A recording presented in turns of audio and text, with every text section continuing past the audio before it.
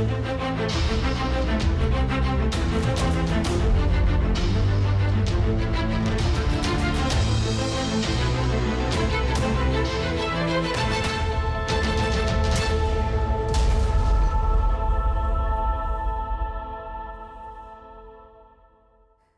õhtust, head vaatajad. täna on kahekümne kolmas detsember ehk jõululaupäeva laupäev. tõsi, Eesti rahva traditsioon niisugust tähtpäeva ei tunne, aga nii nagu kõik muutub ajas, nii muutuvad ka traditsioonid ja, ja on nõnda kujunenud, et just kahekümne neljandal detsembril, jõululaupäeval istuvad pered lauas, tuleb jõuluvana või sokk või kes iganes või on päkapikud käinud. mõeldakse tagasi eelmisele aastale, heale ja halvale. Ja muidugi mõned päevad edasi hakatakse ennustama ka seda, mis ootab meid ees tuleval aastal. mõni eelistab selle mm, kindlaks tegemiseks Igor Mangi või, või Eda Pauksoni aga meil on täna hoopis meeldivam võimalus tuleviku üle arutleda ühiskonnateadlasega Aaro Velmetiga. täna on, on Aaro Velmet äh, New Yorgi ülikooli doktorant, aga, aga ta ka töötab seal ja, ja õpetab üliõpilasi ja teeb teadustööd. kuidas juhtus nõnda, et perekonnas, kus äh, isa poolt on, on ma ütleks, ollakse muusikud ja, ja ema, kes on ajakirjanik, no see juba klapib sellise ühiskonna jälgimise ja analüüsiga mm, kenasti kokku et on, on, on üles kasvanud üks niisugune noor inimene, kellel on nii tõsine huvi ühiskonnateaduste vastu nüüd selle kõige laiemas mõttes no väga lihtne oleks öelda, et ma olen see must lammas, eks ju, et kui minu perekonnas on mitu põlvkonda muusikuid ja minu õde ja vend mõlemad erineval moel tegelevad muusikaga, et noh, et siis ma pidin midagi muud tegema, eks ju. aga eks see on alati natukene juhuslik osaliselt äh, ilmselt on asi äh, heades õpetajates siinsamas üle tee asuvas Prantsuse lütseumis, kus ma käisin põhi- ja keskkoolis, kus kirjanduse ja ajalootunnid olid konkurentsitud minu lemmiktunnid. aga tegelikult noh, kui ma need küsimused, mille vastu ma oma erialases karjääris olen huvi tundnud, mis, mis käsitlevad eelkõige identiteediloomet, võimusuhteid, seda, kuidas Äh, erinevate kategooriate ka äh, loomise kaudu äh, kujundatakse võimu. ma arvan, et siin mängib rolli küll see, et, et mu ema, kes töötab venekeelses raadiojaamas Raadio neli, et ma olen näinud tema tööd võrdlemisi lähedalt ja seetõttu on mind väga noorest peale huvitanud see, et, et kui, kuidas siis sellised kategooriad nagu rahvus või, või etniline kuuluvus või kasvõi erinevad arusaamad ajaloost Äh, hakkavad mängima mingisugust poliitilist rolli ühiskonnas. Teie olete üks äh, nendest inimestest, kes äh, peaaegu et võrdse partnerina intervjueeris ähm, Toomas Piketid, see intervjuu ilmus kahe tuhande neljateistkümnenda aasta novembri Sirbis, kes tunneb huvi, võib selle üles otsida, see on arhiivis täiesti olemas. ja, ja, ja ma mõtlen nüüd nendele, nendele kategooriatele ja nendele sõnadele, mille, mida Prantsusmaaga ja Prantsuse poliitikaga tõepoolest väga sageli seostatakse, see on vabadus, võrdlus, võrdsus ja vendlus. Piketty rõhutab ühte teist kategooriat, see on ebavõrdsus. kas ebavõrdsus on poliitiliselt ja sotsiaalselt rohkem laetud mõiste, kui on võrdsus? See sõltub kontekstist äh, ja ajast, millal seda vaadelda, et minu meelest me oleme praegu sellises äh, üleminekupunktis, kus ja Piketty raamatu retseptsioon maailmas minu meelest näitab seda väga ilmekalt, kus äh, poliitiline, kus majanduslik ebavõrdsus muutub üha olulisemaks probleemiks, millega on üha selgem, et sellega tuleb kuidagi kuidagi ühiskondlikult tegeleda. ja noh, Piketty ise, eks ju, väga selgelt viitab Prantsuse revolutsioonile või õigemini kodanikuõiguste deklaratsioonile kui ta esitab oma raamatus noh, sellise põhimõttelise teesi, et me võime taluda ebavõrdsust niikaua, kuni see on põhjendatud. et äh, on iseenesestmõistetav, et inimeste võimekus ei ole äh, nii-öelda bioloogiliselt võrdselt äh, jaotatud no ühiskonnas mõned inimesed suudavad natukene rohkem, teised inimesed suudavad natukene vähem ja siis neil on ka õigus, kui nad teevad rohkem tööd, nautida selle, sellest rohkem vilju. aga ähm, küll esitab Piketty selle küsimuse, et kas see, kuidas ebavõrdsus empiiriliselt ja ta vaatleb väga mitmeid erinevaid ühiskondi, ta vaatleb seda nii Prantsusmaa, Saksamaa, Rootsi äh,, USA ähm,, minu meelest ka Jaapani, aga ma võin siin eksida kontekstis kas see reaalne ebavõrdsus, mis, mis nendes ühiskondades eksisteerib, kas see on seletatav äh, siis ka nende, nende erinevate ühiskonnaklasside äh, või, või inimeste reaalse panusega äh, majandustegevusse. Ja ta näitab, et see tegelikult väga selgelt ei ole äh, korrelatsioonis, et tegelikult äh, see protsess, mis töödab, mis, mis toodab ebavõrdsust Ähm, see on väga-väga lihtsasti seletades on ei ole see mitte majanduskasv ehk siis see, et inimesed äh, äh, loovad innovatsiooni, nad mõtlevad välja efektiivsemaid viise äh, kuidas midagi toota või mingisugust lisandväärtust genereerida, vaid seda ebavõrdsust toodab põhimõtteliselt rent seeking, eks ju äh, põhimõtteliselt. Äh, kapitali, kapital toodab kapitali. jah, kapital, äh, kapital toodab kapitali äh,. mitte nii... töö ei ole ja. see põhiline mm, jõukuse allikas. jah, just täpselt ja selle ja sellega on äh, Piketty'l ilmselge probleem ja kui vaadata, kui äh, viljakale pinnasele see, see raamat on langenud, kui palju sellest arutletakse äh,, siis mulle tundub, et see äh,, et ebavõrdsus ilmselgelt on muutunud äh, noh, küsimusest, millest näiteks üheksakümnendatel praktiliselt ei räägitudki, küsimuseks, millega äh, üha rohkem peab poliitiline eliit silmitsi seisma. tekib ka väga huvitav konflikt ühe kahekümnenda sajandi silmapaistva Ameerika poliitilise filosoofi John Rawlsi ideedega, mm, kes väga sügavalt uskus, et, et et need loomulikud erinevused, mis inimeste vahel on, et, et, et noh, neid ei, ei, ei saagi nivelleerida ja neid ei olegi vaja nivelleerida. aga, aga samal ajal ta uskus, et noh, demokraatliku ja avatud ühiskonna tingimustes on, on võimalik saavutada ka egalitaarne majandussüsteem. Nüüd ähm, ütleme siis vähemasti viimased viisteist aastat ähm, arenguid ähm, Euroopas ja kogu maailmas on, on näidanud, et,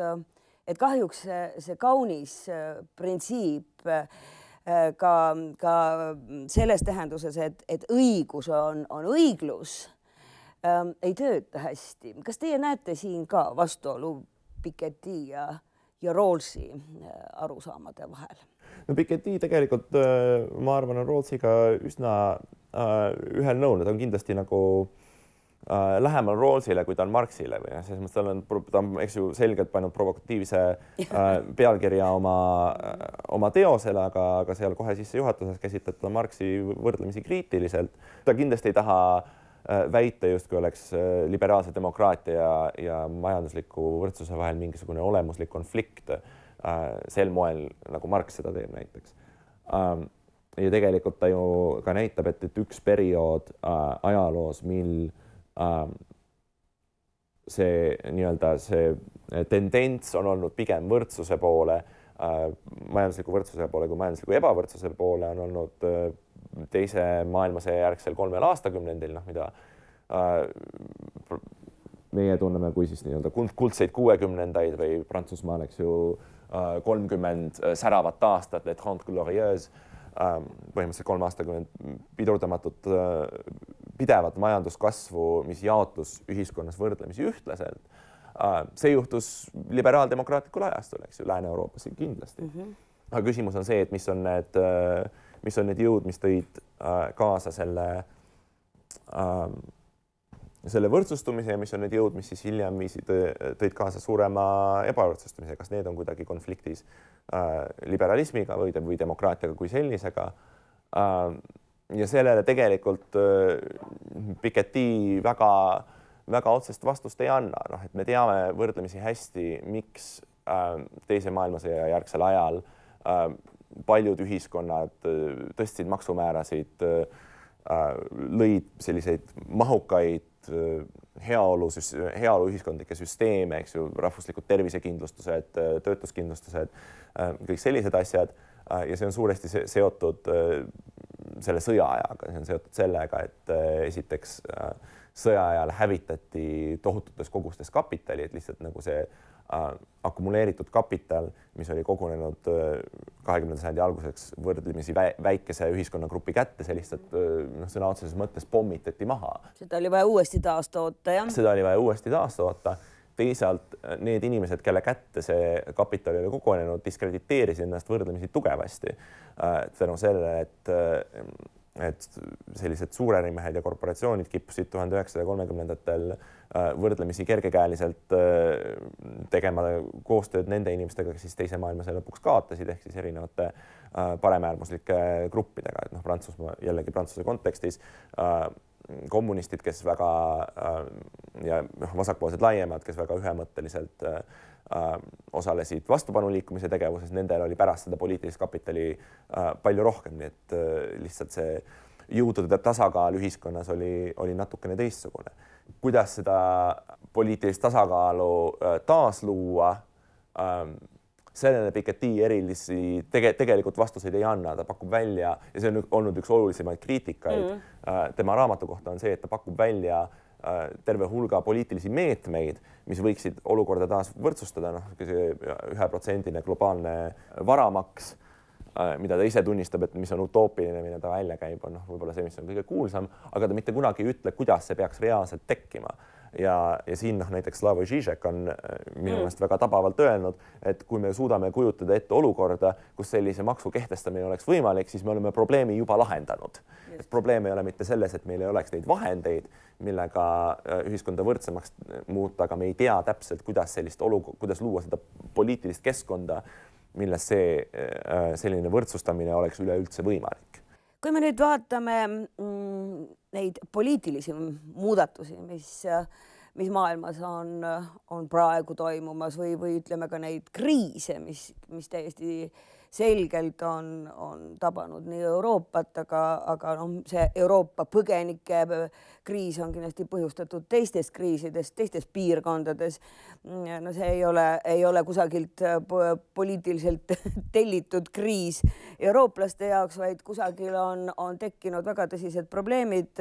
sõdade tulemusena, aga, aga üha rohkem me räägime ka kliimapõgenikest. siis kas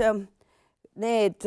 see kokkulepe, mis sündis nüüd Pariisis väga suure hulga maailma riikide mm, esindajate allkirjadega ehk siis üks esimesi tõsiseid kliimakokkuleppeid, kas see võiks ähm, indikeerida seda, et, et see kõik, äh, millest ka on Piketty kirjutanud, aga väga paljud teisedki teadlased äh, Inglismaal, Ameerika Ühendriikides ja, ja millest teiegi olete väga palju mõelnud, et, et kas see on nüüd üks esimesi märke, et, et midagi nagu reaalselt hakkab tõesti muutuma? no ma ei ole loomulikult äh, kliimateaduste ekspert äh, ja selles mõttes ma vaatan seda rohkem sellise äh, huvitatud ja. amatööri seisukohalt, aga äh, minu nagu oma professionaalsest ekspertiisist, kus äh, äh minu valdkonnas ajaloos keskkonnaajalugu on üha rohkem tõusmas esile äh, Äh, kui oluline valdkond ja üks asi, millest me äh, keskkonnaajalas räägime, on see, kui oluline äh, on esiteks, kui olulist rolli mängivad poliitilistes protsessides sellised mitteinimlikud tegurid, sealhulgas kliima on üks oluline küsimus, aga sama oluline on see, et kuidas neid kliimamuutusi mõtestatakse, eks ju, et see, kas noh, näiteks kui mingisugune äh, orkaan laastab äh, New Yorki, nagu ta tegi seda umbes siis kak-, millal äh, Sandy oli kaks tuhat kaksteist vist, jah, kaks tuhat kaksteist. Ähm, kas me mõtestame seda kui lihtsalt ühte tormi või me mõtestame seda kui mingisugust äh, osa ühest suuremast protsessist, mida me nimetame globaalseks kliimamuutuseks, eks ju äh, ja ilmselgelt äh, see on praegu maailmas väga oluline äh, poliitiline selline vaidluspunkt äh,. sest et noh, jällegi USA kontekstis sul on põhimõtteliselt üks kahest USA domineerivast parteist vabariiklased, kes väga selgelt ütlevad, et ei kui üks torm laastab New Yorki, siis see tähendab ainult seda, et üks torm laastab New Yorki, me peame võib-olla nagu äh, tugevdama mingit New Yorgi infrastruktuuri või äh, suurendama rahastamist äh, tormikahjustuste äh, likvideerimiseks pärast seda tormi, aga see ei anna meile mingisugust suuremat signaali, et me peaksime mõtlema äh, globaalsetele kliimaprotsessidele laiemalt, et seal nagu se seost ei ole äh,. nii et siin on jällegi see küsimus, et see äh,, kuidas me räägime nendest küsimustest, on tegelikult äh, äh küllaltki määrav äh, selles, kuidas need probleemid lõpuks lahendatakse. Mis puudutab seda Pariisis sõlmitud kliimalepet, siis noh, selle üle on juba küllaltki palju äh, skeptilisi kommentaare antud, et äh, teemal, et okei okay,, et äh, tegelikult kui vaadata, milliseid lubadusi on need kakssada maailma riiki andnud oma reaalsete emissioonide piiramiseks, siis see tegelikult ei vii meid selle äh, noh, minimaalselt aktsepteeritava kahe äh, Celsius, kahe kraadi Celsiuse soojenemise lähedalegi. äh, et need toovad kokku ikkagi lõppkokkuvõttes mingi kaks koma seitse kuni, kuni kolm Celsiust äh, äh, soojenemist, mis oleks maailma kliimale katastroofiline. et äh, paljud punktid selles kliimaleppes ei ole seadusega kohu-, nad ei kohusta riike seadusega millekski, suuresti sellepärast, et USA ei suudaks ühtegi kohust-, seaduslikult äh, limiteerivat lepet lihtsalt kongressist läbi suruda, sest et neil on vabariiklaste enamus. noh, selliseid äh, skeptilisi kommentaare teemal, et noh, et aga mida, et seal on palju sõnu, aga millekski reaalselt see lepe ei kohusta, on hästi palju, aga samas see, et sul on olemas üks äh, nii-öelda retooriliselt mõjukas lepe, millele on võimalik viidata, see on kindlasti asi äh,, mis mobiliseerib mis mobiliseerib keskkonnaorganisatsioone, mis mobiliseerib neid valitsusi, kes soovivad äh, kliimamuutuste äh, leevendamiseks midagi ära teha. Äh, see annab sellise retoorilise rusika, mis on teinekord päris oluline. et selles mõttes ma oleksin pigem optimistlik. Teie olete uurinud Prantsuse ajalugu, tegelenud maailma ajaloo probleemidega, aga ka nüüd kasvõi sellesama kliimakonverentsi ja, ja, ja kliimamuutuste kontekstis küsiksin ma, et kuidas teile tundub, kas Eesti tunneb ennast äh, selle maailma osana. kas Eestile on natukene omane see, et, et ah, meist ei sõltu midagi, vaatame nüüd, kuidas need suured seal otsustavad, et eks meil siis on aega siin kodus vaikselt atra seada ja, ja, ja kas see on õigustatud suhtumine? no Eesti on üks äh, suurema ökoloogilise jalajäljega riike maailmas, eks ju, tänu sellele, et suurem osa meie elektrist tuleb põlevkivist, mis on üks kõige saastavamaid äh, energiaallikaid, üks ebaefektiivsemaid energiaallikaid äh, maailmas üleüldse, aga paraku see üks fossiilne kütus, mis meil on. aga siin selles mõttes on tegelikult hästi oluline õppetund äh,. mitte ainult meile, vaid ka äh, maailma teadlaskonnale ja poliitikutele äh, selles mõttes et okei okay,, et me võime ju süüdistada äh, meie oma meediat noh, umbes äh, teemal, et miks me räägime, miks me ei räägi kliimakonverentsist, miks me räägime äh, presidendi kihlatust, mis nagu ma maailma revolutsioonilises kontekstis ei ole kaugeltki nii oluline. ilmselt mitte aga tegelikult see on see on väljakutse, selliste globaalsete protsessidega tegelemine ja nende mõistetavaks muutmine on väljakutse ka rahvusvahelistele organisatsioonidele, sellepärast et väga lihtne on mõelda, et sul on mingi, kuskil on sul mingisugused universaalsed teadmised mm. -hmm. kui sa oled need välja mõelnud ja, ja piisavalt hästi ära kirjeldanud äh, noh, hästi nagu karikeerides võiks öelda, et see on selline reaalteaduslik mõtteviis, et need on tõed, mis on äh, tõesed ükskõik kus, ükskõik mis ajal Nendest üks on see, et kui, et süsinikdioksiidi emiteerivad, äh, eks ju, fossiilsete kütuste põletamine tõstab äh, maakera temperatuuri ja kui meil on see info teada, siis põhimõtteliselt iga ratsionaalne inimene peaks sellest aru saama ja siis vastavalt oma käitumist korrigeerima, eks ju. aga selle sellise universaalse ähm, teki all äh, toimub väga palju erinevaid spetsiifilisi äh, asju, mis on omased erinevatele piirkondadele ja näiteks äh, Põhjamaades on äh, kaks kraadi soojenemist juba toimunud, aga samas see ei mõjuta meid eriti mm, -hmm. sellepärast me oleme niikuinii külmas äh, regioonis, eks ju, et erinev, erinevalt mingisugusest kõrberegioonist, kus isegi pool kraadi soojenemist võib olla see vahe eksisteeriva põllumajanduse ja mitte eksisteeriva põllumajanduse vahel, siis meie jaoks on kaks kraadi sooja pigem positiivne. Just. Äh,, toob ehk niisuguse keskmise kehva suu, suu, suusailma terveks aastaks, jah. Mm. nojah, kuidas kelle, kuidas kellelegi see sügisilm siin meeldib. Uh, aga üks põhilisi väljakutseid äh, ka rahvusvaheliste organisatsioonide poolt ja, ja poliitikute poolt on see, et, et kuidas teha sellised globaalsed protsessid lokaalselt mõistetavaks. mis on see, ilmselgelt meil on raske hoolida sellest, et äh, Maldiivid jäävad kunagi vee alla, sest et me mõtleme, et aga neil on niigi hea ilm ju. just uh, ja nad on üldse liiga hästi elanud võrreldes meiega, et see on ju peaaegu niisugune äh, paradiisi sünonüüm väga paljudele eestlastele, kes loevad ähm, turismifirmade kalleid ja. reisikuulutusi Maldiividele. jah mm., sama lihtne on näiteks ette heita Poolale või siis ka Eestile, et noh, et miks te, miks te olete nii skeptilised, miks te ei tule kaasa ähm,, eks ju, taastuvate energiaallikate äh, Äh, arendamisega mm, -hmm. mõtlemata selle peale, et äh, söetööstus on ajalooliselt olnud Poolas tohutult mm -hmm. oluline tööstusharu ähm, lisa ja, ja juba juba praegu on neil tohutud probleemid terve oma neljakümne miljoni elanikuga riigi adekvaatse elektriga varustamise, varustamisega. lisaks on siin julgeolekupoliitilised probleemid, eks ju, samamoodi ka Eestis ähm, nii et need on need küsimused, mis siis, kui sa vaatad seda küsimust Eesti või, või Poola mm -hmm. perspektiivist, on tegelikult äh, mõistetavad, nendest tuleb rääkida, nendele tuleb adekvaatsed lahendused otsa sa ei saa, otsida. sa ei saa lihtsalt öelda, et kuulge, et et Euroopa Liit on seadnud eesmärgiks äh,, eks ju, twenty twenty by twenty twenty äh, et äh, pange need oma äh, põlevkivijaamad ja, ja, ja söekaevandused kinni äh, ja jutul lõpp, eks ju, tuleb otsida need võimalused, kuidas rääkida nendest küsimustest nii, et nad on mõistetavad äh, selles kohalikus kontekstis. aga kas ähm, keerame nüüd selle, sellesama äh, problemaatika Äh, mis, mis, mis praegu maa, maailma ja, ja noh, eriti Euroopat kõnetab, see on, on pagulaste probleem, millest me ütlesime, et vähemasti osaliselt on see juba ka täna seotud kliimamuutustega, siis just nimelt äh, meie poolt täna üsna korda, mitu korda nimetatud Toomas Piketty on, on eriti viimasel ajal ähm, oma artiklites rõhutanud, et ähm,, et see põgenike tohutu suur hulk. Äh, Euroopas ei, ei, ei ole isegi mitte nii palju sõdade tulemus äh, ja, ja noh, ta möönab, et ka kliima on oma rolli mänginud, aga see on just nimelt ebavõrdsuse,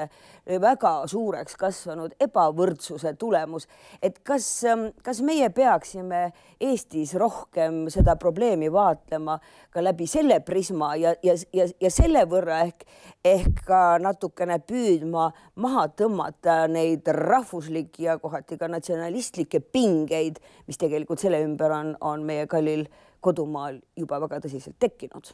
ja see on hästi provokatiivne argument Piketty'l jah, et äh, see, mis on äh, põhjustanud neid suuri rahvastikuliikumisi, on, äh, on see, et et ebavõrdsus äh, Lähis-Ida ühiskondades on kasvanud nii suureks, et, et teatav ühiskonnaklass on hästi ähm,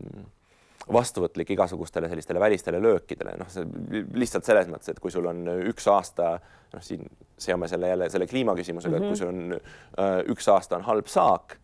äh,, siis äh, nii-öelda nagu poliitilist eliiti mõjutab see võrdlemisi vähe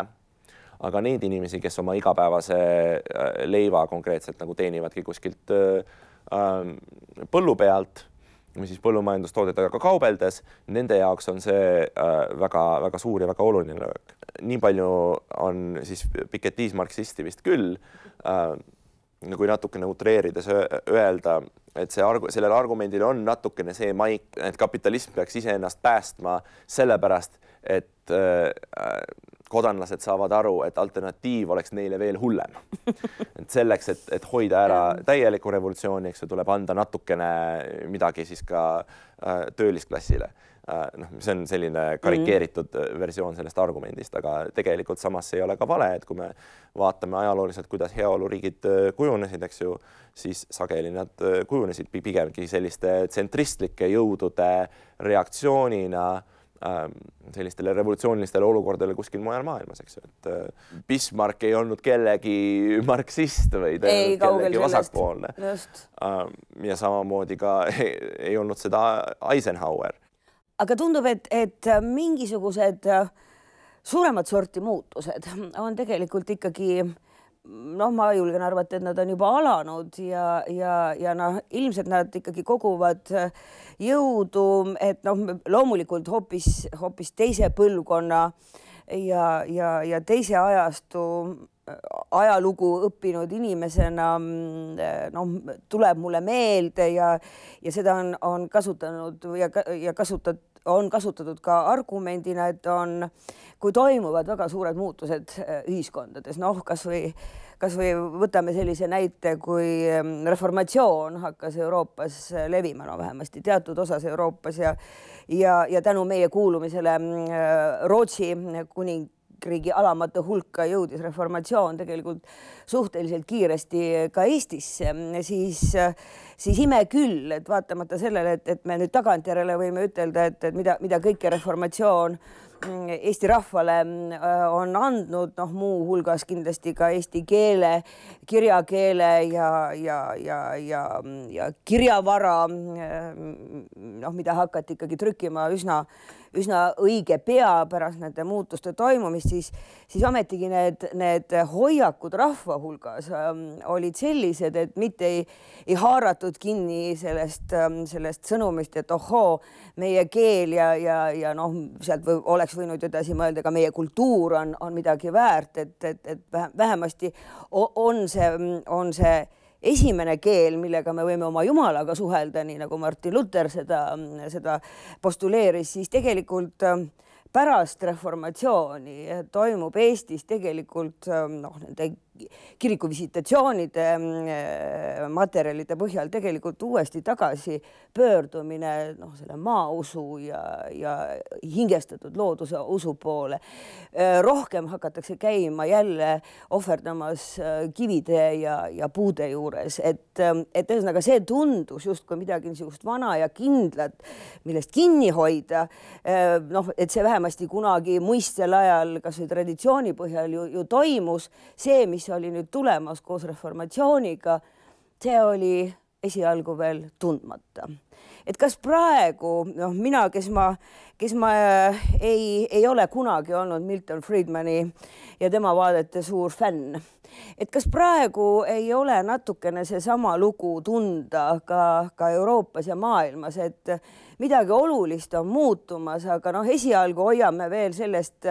sellest, tõsi, see, see, see vabaturumajanduslik neoliberalism on, on tegelikult juba väga palju oma tüüpilistest näojoontest kaotamas ja, ja on, on muutumas äh, oluliselt sotsiaalsemaks. aga mulle tundub, et see protsess ei ole veel kaugeltki lõppi, lõppenud, et kuidas teile noore teadlasena tundub, kui kaugele või, või, või, või mis võiksid olla selle uue maailma süsteemi või, või süsteemide uued piirjooned? oh, see on, see on paratamatult selline spekuleerimine. no aga ma võib-olla haaraks kõigepealt kinni ühest ühest teie märkusest, mis puudutas seda reformatsiooni ja, ja seda dünaamikat, et okei okay,, et kui sul on muutused toimumas, et siis tundub sellega äh, Äh, kaasas käivad äh, selline soov nendega mitte kaasa minna või selline nagu äh, vanade struktuuride kristalliseerumine, kivinemine, see, et noh, nagu te ütlesite, et reformatsiooni ajal pöörduti tagasi maausu poole. ma saan aru, et see paralleel siis praegu võiks olla siis see, et, et praeguste muutuste juures pöördutakse siis tagasi sellise no radikaalsema rahvusluse Just. juurde ma tahaks olla hästi ettevaatlik sellega, et, et, et mulle tundub, et sellistes väidetes hästi sageli on selline ähm, eliidi ja massi vastandamine, kus äh,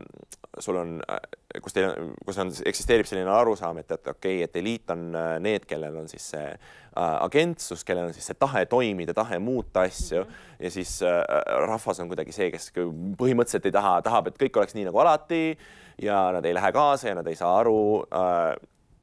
miks neid, miks neid muutusi on vaja või miks need muutused toimivad.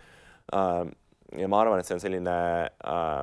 ohtlikult lihtsustav mm. äh, lähenemine, kuna ta äh, võtab ikkagi nagu väga suurelt inimeste hulgalt ära selle äh,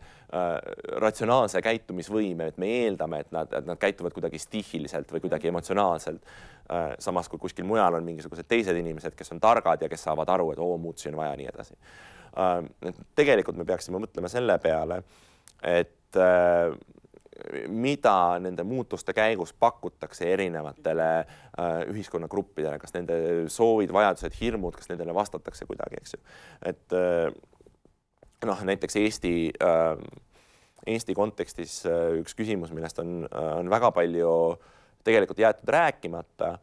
on see, kuidas äh, maakeskkondades pärast, eks ju, ühe üheksakümne esimest aastat äh,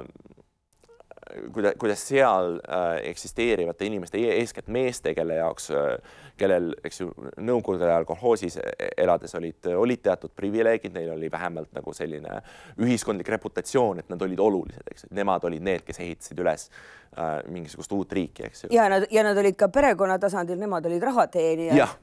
naised, kellel võis olla küll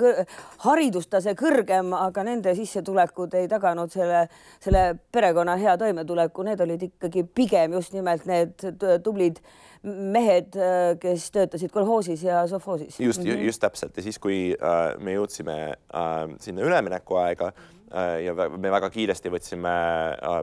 arusaadavatel põhjustel omaks sellise liberaalse majandusmudeli, siis tegelikult me me ei tegelenud nende inimestega, äh, kelle haridustase ei võimaldanud sellist kiiret kvalifikatsiooni tõstmist. samas, kes olid harjunud teatud privileegiga, teatud reputatsiooniga. Mm.. ja nüüd me imestame, et, et oi näe, et miks nad on otsust miks nad on küll nii kibestunud? miks nad, miks nad küll nii kibestunud on täpselt, miks nad on öö, otsustanud valida, eks ju, parteid, kes ütleb, et praegune poliitiline eliit on korrumpeerunud ja neid ei huvita seda, mis saab äh, Eesti rahvast, sest et kui, sest et tõepoolest meil on terve hunnik inimesi, kes, kes täiesti põhjendatult tunnevadki, et äh, nendega ei räägita ja nendest ei hoolita. olete te optimistlik? Äh, ma, ma, ma keeldun ennast lahterdamast sellesse optimismi, optimisti, pessimisti kategooriasse. mulle tegelikult mulle meeldib see, et äh, ma töötan, eks ju äh,, minu teadustöö on ma uurin aega, mis on põhimõtteliselt hakkab tuhande kaheksasaja üheksakümnendal aastal, lõpeb tuhande üheksasaja neljakümnendal. Mm.. nii et seetõttu ma loen väga palju dokumente, mis on kirjutatud tuhande üheksasaja kolmeteistkümnendal aastal või tuhande üheksasaja kolmekümne üheksandal aastal. Äh, kus räägitakse järgmise äh, viie aasta mingis, mingisugustest plaanidest, mingitest investeeringutest äh, sellest, kuhu üks või teine inimene kavatseb reisima minna. no ja siis tuleb tuhat üheksasada neliteist või tuhat üheksasada nelikümmend ja äh, kõik sellel, on hoopis teistmoodi. kõik on hoopis teistmoodi. ja selles mõttes mulle tõesti ei meeldi see ennustamistegevus ja mulle tegelikult tundub, et, et selline avatus ebamäärasusele on pigem, pigem voorus kui, kui mingi nõrkuse märk ja äh, selles mõttes ma ei taha ka teha selliseid äh, isegi nagu spekulatiivseid ennustusi, et ma äh, ma saan aru sellest jah. et ma kuju-, ma, ma, ma küll ma, ma kujutan ette äh, üsna mitut erinevat protsessi, mis võib äh, äh, erinevaid stsenaariumi. erinevaid, erinevaid stsenaariume jah, millest mõned on positiivsed ja, ja, ja mõned on negatiivsed, et noh, see ilmselgelt noh, jällegi see kliimalepe minu meelest on positiivne äh,. ilmselge positiivne märk, eriti kui me veel vaatame, kuidas äh, ähm, taastuv, äh, taastuvenergia, äh, taastuvenergiaallikad muutuvad üha odavamaks, nad on enam väga paljudes maailma koht, kohtades turuhindade juures konkurentsivõimelised mm. -hmm fossiilsete kütustega äh, minu jaoks nagu palju olulisem küsimus on see, et millised äh, poliitilised protsessid on toimunud, on, on toimumas, et kui palju me näeme reaalselt sellist äh, poliitilist võitlust äh, erinevate noh, siis ütleme nagu hästi laialt nagu sõnastades äh, sellise praeguse poliitilise eliidi ja siis selliste nagu progressiivsete alternatiivide vahel. Äh, ja noh ühelt poolt, eks ju, positiivsena võiks vaadata, et okei okay,, et äh, Hispaanias, Portugalis, äh, mujal äh, Euroopas on väga aktiivsed äh, kodanikuühiskonna liikumised. Podemos, millest meil väga palju ei räägita. milles meil, milles, millest meil tõesti väga palju ei räägita. Äh, Portugalis analoogsed liikumised, teisalt äh, paremäärmusluse tõus Euroopas on, on samavõrd jõuline äh,. ja sageli noh, need äh, sellised tipping point'id, mis lükkavad need protsessid äh, otsustavalt ühes suunas või teises suunas, on sellised äh, musta luige laadsed sündmused, sellised kord saja aasta jooksul mingisugused olukordade kokkulangemised. see on, on, läheb ilusasti kokku, eks ole, Jüri Lotmani äh, kultuuriteooriaga, et, et seal on, on niisugused hetked, kus, kus toimub plahvatus. kus toimub plahvatus ja kusjuures ei olegi väga täpselt äh, võimalik äh, defineerida, mis tingimused peavad siis olema täidetud, et, et, et ta toimuks. et me noh, loomulikult me ilmselt liigume selle teadmise poole või vähemasti me üritame selle teadmise poole jõuda, aga plahvatusena mõjuvad nad igal juhul meile nii ehk teisiti, vähemasti ja, täna on see. aga sama, aga samas on meil võimalik, äh, eks ju, valmistada ennast selleks hetkeks ette selles mõttes, et luua, äh, luua need tingimused, äh, kus oleks võimalik siis, siis kui see, kui see hetk või kui see sündmus toimub, tegutseda võimalikult nagu ühiskondlikult positiivselt. ja veel tuleb mulle ühe, ühe väga haritud ähm, Eesti vanadaami, kes, kes on, on siit ilmast juba lahkunud, tema äh, mõtted ennem Eesti taasiseseisvumist, ma räägin Fanny de Sieversist või Fanny de Sieverist, kes elas ju suure osa oma, oma elust elas ta Prantsusmaal ja, ja õppis ja õpetas Sorbonni ülikoolis. Ja keda mul oli suur õnn kohata kusagil kaheksakümnendate aastate lõpupoole, siis kui meil oli veel kõik see taasiseseisvumise võlu ja, ja valu oli veel, veel nägemata. mäletan, et istusime Stockholmis kusagil pargis ja Fanny de Siivers ütles, et, et jätkugu teil, jätkugu teil tarkust ja, ja mõistust, mitte elada või pühendada nüüd suur osa sellest, selles uues ajas noh, minevikule ja, ja surnuaedadele. no siis oli see tohutu mm, buum, taastati kõikvõimalikke ausambaid, ennekõike Vabadussõja ausambaid. ütles, et loomulikult on see tähtis, aga praegusel hetkel on kõige tähtsam mõelda tuleviku peale ja noh, seda oli nii sümpaatne ja võib-olla ka mõnevõrra ootamatu kuulda nii väärikas eas oleva daami suust. mina muidugi kibelesin selle, et saaks kiiresti Eestisse tagasi ja nüüd hakkab, hakkab juhtuma ja tegelikult rõõmustasin ikkagi nende Vabadusse ja ausammaste üle, mis, mis ikkagi leidsid taastamist, et, et küllap see, see ajalugu käib, käib meiega kaasas, aga kuidas teile täna tundub, et nüüd Eesti kontekstis ja Eesti ajalugu silmas pidades, kas me oleme natuke veel liiga palju selles kinni? See on päris huvitav küsimus jah, et kuidas äh, ajaloost mõtlemine on äh,, on ise äh, ajalooline protsess. et see ei ole, ajalugu ei ole mingisugune universaalne nähtus, vaid me seda, mida ta meie jaoks tähendab, me mõtestame ajaloo äh, kestel ümber. ja mul on hästi sümpaatne äh, üks prantsuse ajaloolane Francois Artaud Äh, keda meil on tutvustanud Marek Tamm mm., äh, kes räägib ajaloolisuse režiimidest, kes siis ta, ta, ta, ta toob välja, et see, kuidas me ajalukku suhtume, on radikaalselt muutunud viimase paarikümne või kolme-neljakümne aasta jooksul, et kui ütleme näiteks sellisel varausaegsel ja renessansi ajal, äh, noh, tegelikult ja noh, põhiliselt keskajal äh, oli meie selleks teadvushorisondiks oli minevik. me võrdlesime kõike antiikajaga ja küsisin ja siis see olevik kunagi ei, ei olnud selle antiikaja vääriline, siis ütleme tööstusrevolutsiooni ajal, kahekümnenda sajandi alguses oli see meie nagu mõttehorisont oli tulevik, me ehitasime kogu aeg järgmist ühiskonda äh,. olgu ta siis äh, eks ju, selline sotsialistlik utoopia või siis selline kapitalistlik tööstusühiskond, mis oli, pidi ka tulema radikaalselt erinev sellest, mis sel hetkel eksisteeris, siis äh, viimased aastakümneid me oleme elanud sellises presentistlikus ajas, kus ähm, minevik ei ole oluline, tulevik on, tulevik ei ole oluline, kõik on olu, ainus, mis on oluline, on see, mis äh, täna, siin ja praegu, mis on täna, täna, siin ja praegu, et isegi kui me mõtleme äh, tulevikust, see on minu meelest hästi äh, ilmekalt äh, illustreerib seda, see, kuidas me räägime infotehnoloogiast, siis tulevik on tegelikult näeb välja umbes samasugune nagu täna, ainult et seda, neid asju on meil rohkem et põhimõtteliselt äh, meie visioonid mingitest äh, tulevikuvidinatest on asjad, mida, äh, mida Apple või Google juba täna toodavad ja siis me lihtsalt mõtleme, et no okei okay,, et kuidas me arendame selle mingisuguse loogilise lõpplahenduseni, aga see näiteks, meil oleks mingisugune radikaalselt teistsugune poliitiline süsteem või radikaalselt teistsugune tehnoloogia Äh, see ei ole justkui enam üldse mõeldav ja samamoodi on ka minevikuga, et me ei mõtle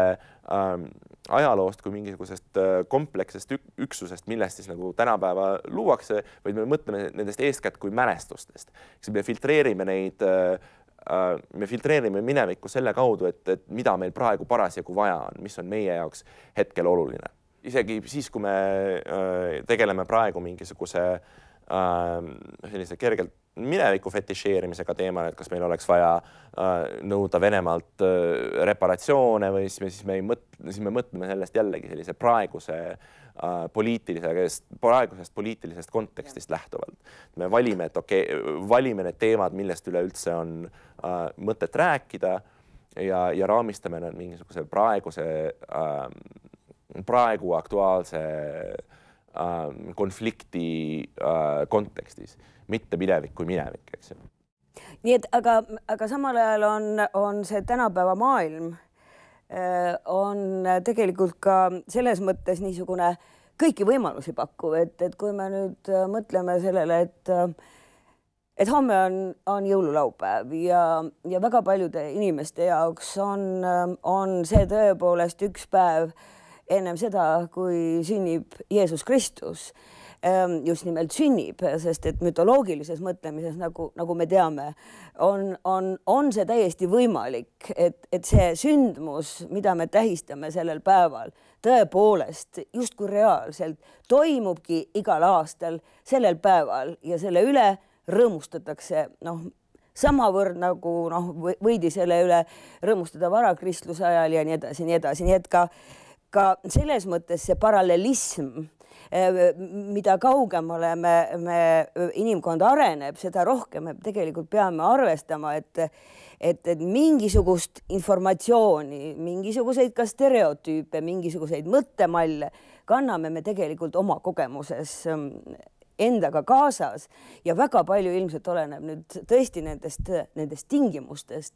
milline nendest äh, ja, ja milline, milline nendest headest ja milline nendest vähem headest sellel, sellel hetkel nagu, nagu oma, oma mõju hakkavad avaldama, aga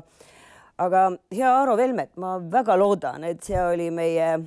selle aasta küll viimane saade, aga see oli meie esimene kohtumine teiega vestelda on tõeline nauding ja rõõm ja ma loodan, et me kohtume rahva advokaadi saadetes veel ka edaspidi. ma soovin teile väga ilusat aastavahetust, kõike head teie perele, mm, teie lähedastele, teie sõpradele ja, ja edu. ja aitäh ja head vana aasta lõppu teile ka. aitäh.